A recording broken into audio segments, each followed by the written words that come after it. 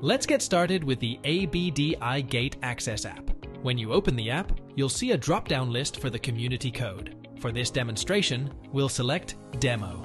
As a resident, you'll choose your specific community code. Then, enter your username and password. Once you've input your credentials, tap Login to access the main features of the app.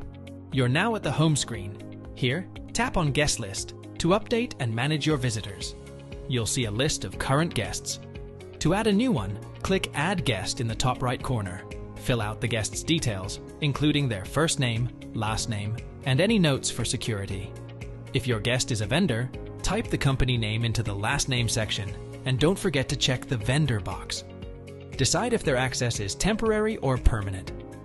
If temporary, set the date range if needed.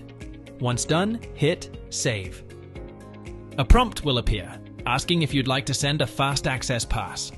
This QR code allows guests quick gate access without hassle. Would you like to send your guest their fast access pass now? If yes, tap Yes and proceed to send it. If no, simply press No, and the guest will be saved without sending fast access pass. Note, you can always send your guest their fast access pass later. Simply select the existing name from the guest list and click the Share button on the top right-hand corner next to the Save button. This screen appears if you've opted to send a fast access pass. Here's a preview. By clicking Send, you can share the pass via text message or your preferred messaging app. Once sent, your guest will receive a message with the fast access pass.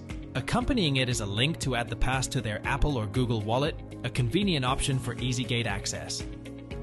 That's it. You've successfully added a guest and sent a. Thank you for using the Gate Access mobile app.